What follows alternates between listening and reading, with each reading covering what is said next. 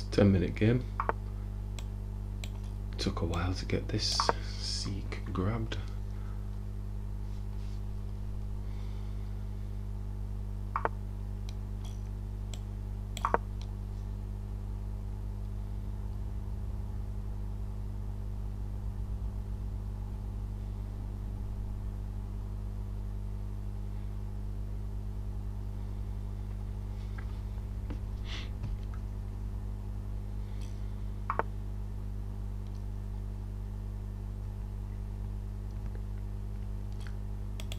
Tempting, but no. I think I will wait. Coming here, let's just give a little touch here with the pawn. Looking for the quick and dirty cheap stuff.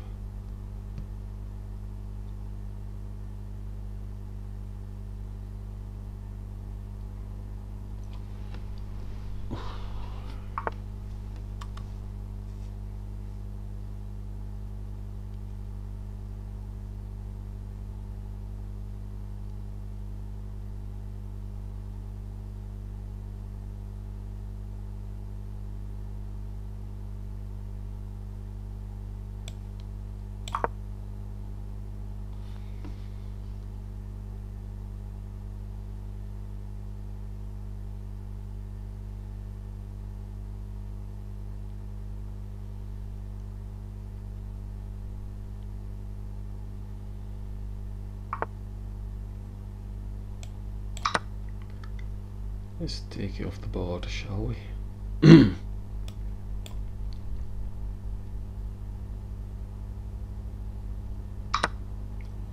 Hmm. That's a horse of a different colour, isn't it? I think we'll attack the bishop now then, seeing as the queen's not supporting.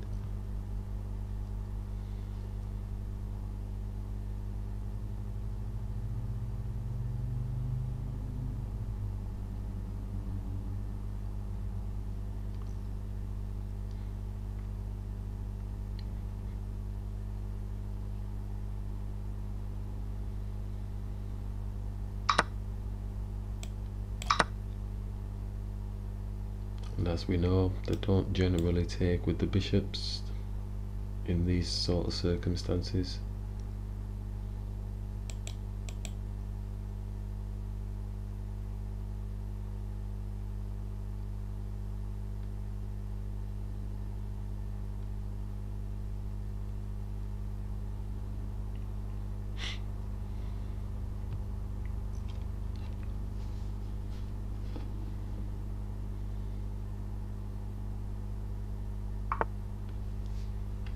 Yep.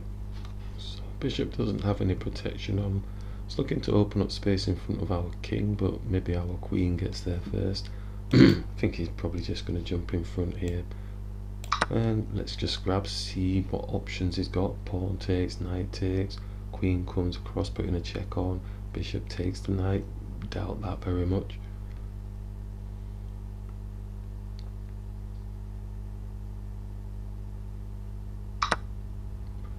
Takes back with the pawn. Just going to touch onto the king just to see what they want to do.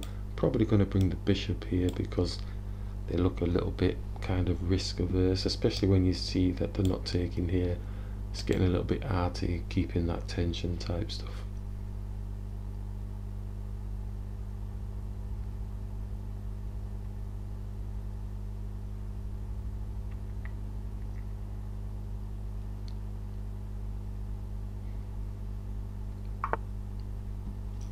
Knight's blocking, but they kind of lose the pawn, but then they don't, because the thing is, our knight is not protected at the moment.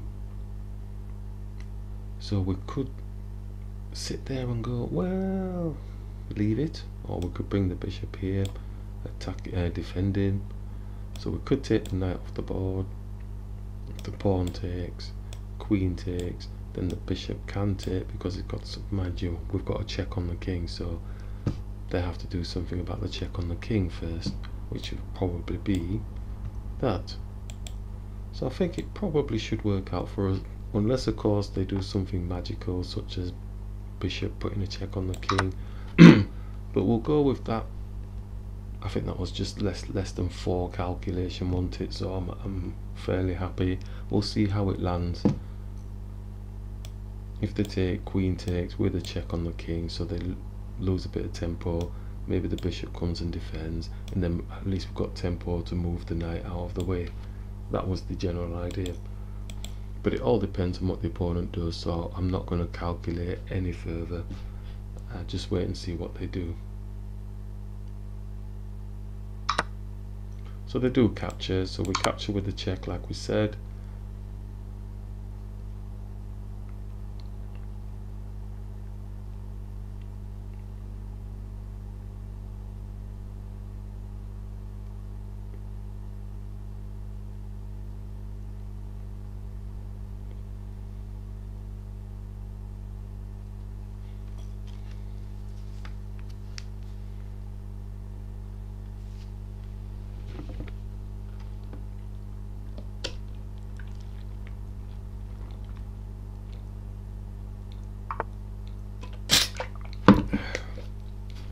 Okay, so the king's moved and it's blocked the queen from attacking, but it's also making access for the rook to come and put a check on our king. So it's probably safe to say we're probably going to go castle. Could have put a check on here, could have actually won the bishop there. We've lost that, that opportunity now. Because they're going to realise this and uh, move the king well, maybe not the king, but move the bishop out of the way. Well, they haven't done that, so we can go and do this, but the bishop can just go in front, so we haven't won the bishop actually. Touch onto the king a little bit maybe, and then the king has to go to the side, get the rook involved. Um, now he's got a fork on the rook though, and, it, and the queen. Hmm, which one's best? Queen coming here with a check on the king. King can't come here. It can go there. That's all its space it can go. Then we put a check on with the rook. And then it escapes, doesn't it? Either to here or goes back here.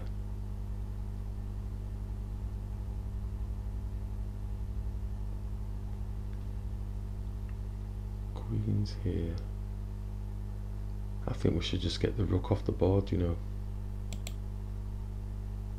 I think that's probably better. Let's ooh, let's get the rook off the board. Because that's all dancy, but the king escapes, even though it might be in a bad position, it still escapes. And I don't see a follow on after that, so I'm just going to see if we can be up the exchange.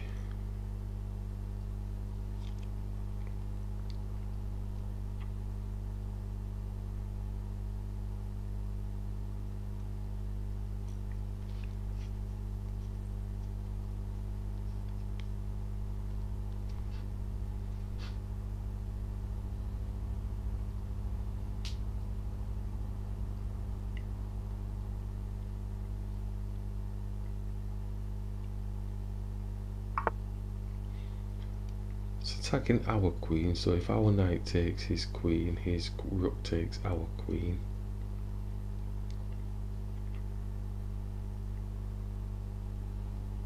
That's a good shot actually isn't it? Knight takes and then my knight can't escape and oh it can come here.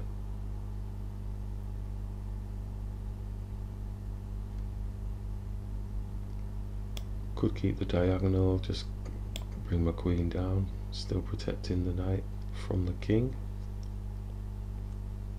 Could attack the king, but then he just takes the knight off the board. Hmm, interesting time. So I think I'm going to have to come back here, aren't I? Then move the knight. Well, obviously his queen's under threat, so he's going to move his queen He's going to move it, move it here with potential for attacking here, but he has to move his queen, so he's probably coming here himself. Protecting the pawn. That was a nice shot. Interesting.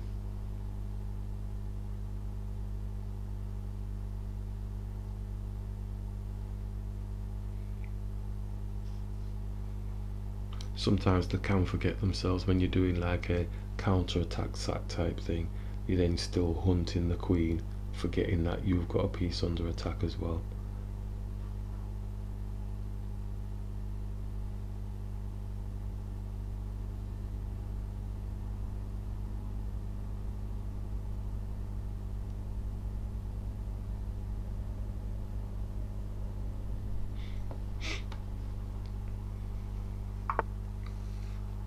Yes, he's got all the um, tools, hasn't he?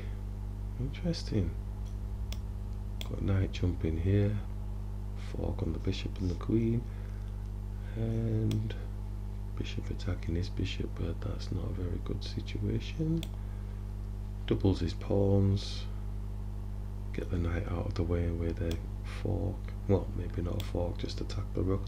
Or, might as well make some use of it, haven't we? and put a fork there. Let's um, grab here.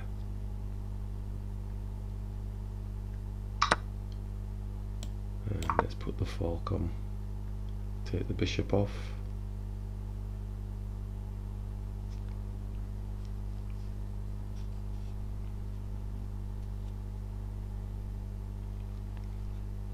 So try to cause a bit of damage, doubling the pawns, splitting his pawns here. Oh my. Okay, might be method in the madness. We'll take.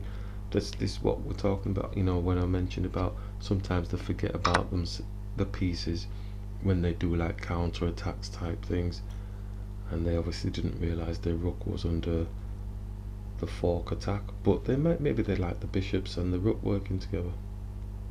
It's not over. I need to get my rooks in the game. This pawn's got no protection on it. Um,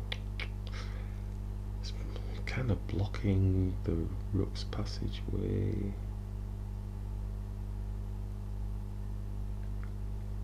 I think I'm going to have to come here because he's going to be looking for the cheap shot here. So if I push this pawn up, his bishop could come here and put a check on the king. So I think I'll bring it here. I didn't really want to block the... Well, mind you, he's gone to the open file now.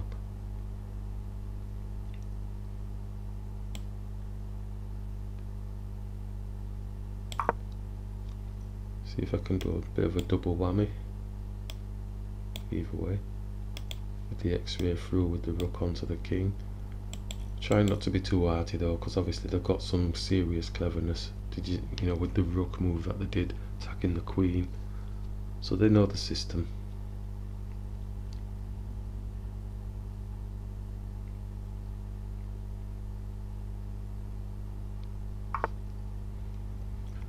So they're allowing us to go for the double whammy.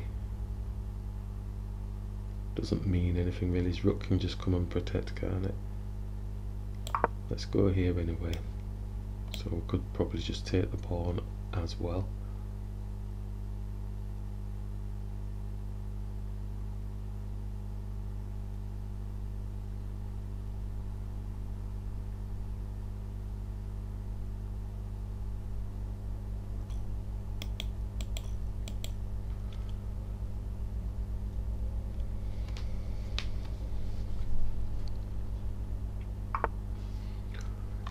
He's going to move the king.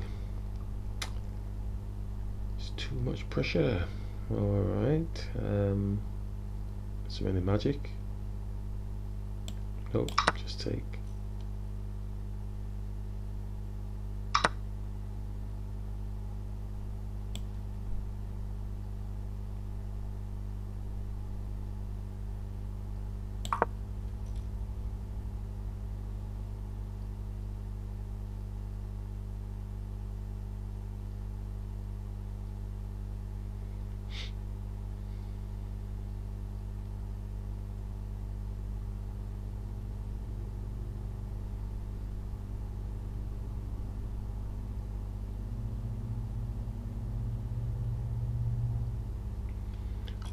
actually have to be a um, bit careful here because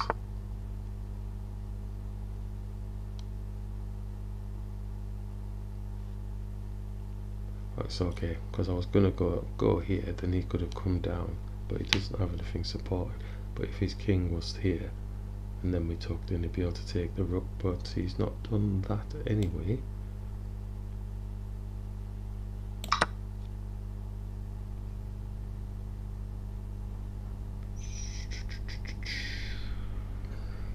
Coming for the pawn. Probably try and come back and double on this uh, situation.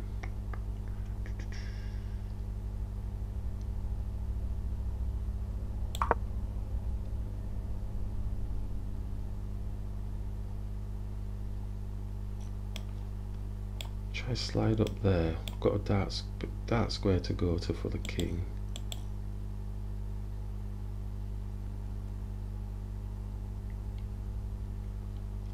Rooks don't have any place in the center of the board. Okay, what's this?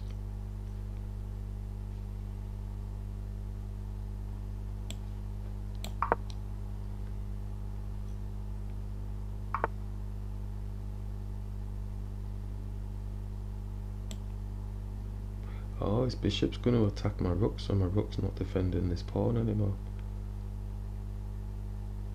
Ah, so you know what, I'm going to have to keep it there, but then it's just going to push the pawn down. Okay, scary times, scary times. Let's push this pawn. And move the king to a dark square over here. And let's take this bishop off the board. Are we causing ourselves a bit of problem? I think they probably might resign now, might they?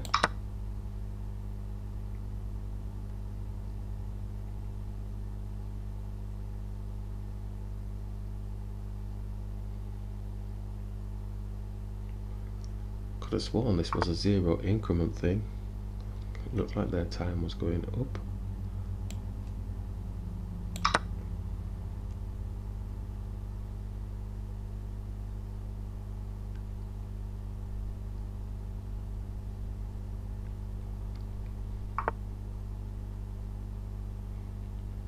Mm, looks like he's going to give up his rook.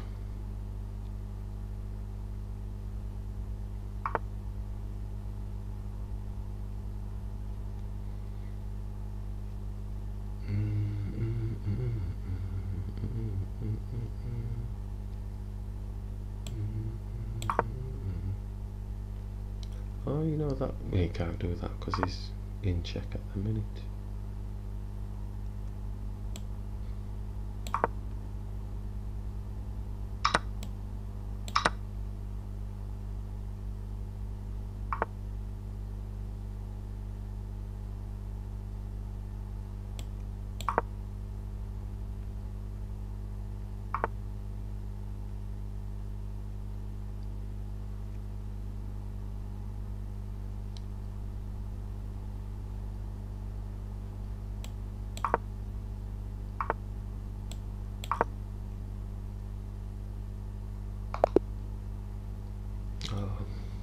A bit unlucky on time there.